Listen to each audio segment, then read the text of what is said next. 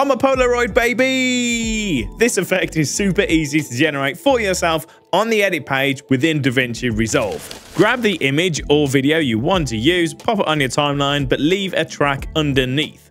Then just use the transform controls to transform this to the size that you want. Give it a crop if you need to as well. Then open up the effects library, come down to generators and find the paper generator. Put that underneath your image. Then once again, click the paper generator in the transform settings, transform this, change the position and do some cropping so that it matches your image and gives you a Polaroid style effect. Something like that. Then highlight both of them on the timeline, right click and create a new compound clip. Now this is a compound clip, you can zoom this out and change the angle of both of these things together.